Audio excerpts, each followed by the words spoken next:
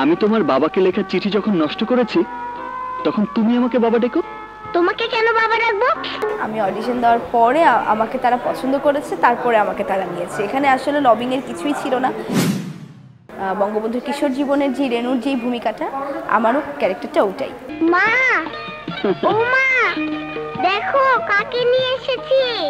আমি অডিশন দিয়েছি। আমি অডিশন দেওয়ার পরে আমাকে তারা পছন্দ করেছে তারপরে আমাকে তারা নিয়েছে। এখানে আসলে লবিংয়ের কিছুই ছিল না কিংবা আমি তো কোনো লবিং করিনি আমি জাস্ট নর্মালি অডিশন দিয়ে এসেছি একদম বাকি পাঁচটা মানুষের মতো বাকি পাঁচটা বাইরের মানুষের মতো। মামা দেখো কাকে নিয়ে এসেছি? কাকে? বাবা আঙ্কেল বাবা আঙ্কেল হ্যাঁ মামা। এবং আমি ওখানে গিয়ে দেখেছি খুব বড় বড় অভিনেতা অভিনেত্রীরা অডিশন দিচ্ছে।